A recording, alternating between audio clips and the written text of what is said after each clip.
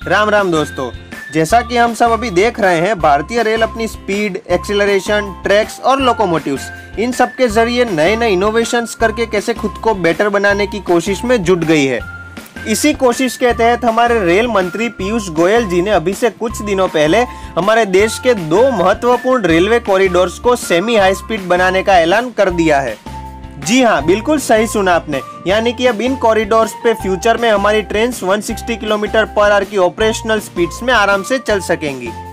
दोस्तों, इस प्रोजेक्ट में जिन रूट्स की पसंदगी की गई है, उसमें से पहला है नई दिल्ली से हावड़ा तक और दूसरा जो रूट है वो नई दिल्ली से मुंबई तक। साथ ही साथ इसी प्रोजेक्ट के अंतर्गत इन दोनों रूट्स को डेवलप करने में रेलवे इन पर टोटल थर्टीन थाउज़ेंड करोड़ रुपए का खर्च करने जा रही है। जिसके तहत छह करोड़ हमारी नई दिल्ली से हावड़ा वाले रूट पे खर्च किए जाएँगे।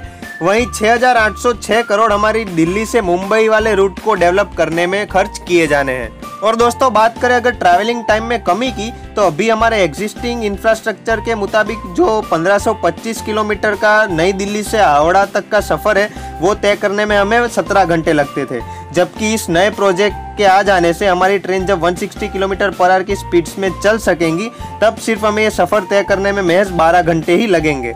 इसी तरह फ़िलहाल हमें नई दिल्ली से मुंबई के बीच का चौदह किलोमीटर का सफ़र तय करने में साढ़े पंद्रह घंटे लगते हैं। और जब ये ट्रेन 160 किलोमीटर पर आर की स्पीड में चल सकेंगी, तब हमें सिर्फ़ 10 घंटे ही लगेंगे। तो दोस्तों, हम तो यही दुआ करेंगे कि जल्द से जल्द रेलवेज अपना ये प्रोजेक्ट पूरा कर ले, ताकि हमारे ट्रैवलिंग टाइम में कमी आए, हमारी ट्रेन से एक अच्छी स्पीड में चल सके, और साथ ही साथ हमें अच्छी फैसिलिटीज़ मिल सकें।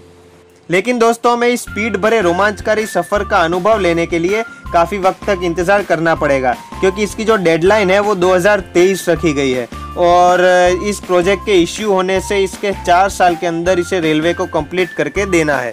तो चलिए दोस्तों, मिलते हैं हमारे नेक्स्ट वीडियो में। और सबसे पहले अगर आपने हमारे चैनल को सब्सक्राइब नहीं किया है तो प्लीज़ ज़रूर से हमारे चैनल को सब्सक्राइब कर ले। और साथ ही साथ हमारी वीडियो अगर आपको अच्छी लगी हो तो लाइक शेयर और कमेंट ज़रूर से करें। और अभी के लिए सिर्फ़ इतना ही। मिलते हैं हमारे नेक्स्ट वीडियो में। तब तक के लिए भारत माता की जय। जय Hind and God bless you all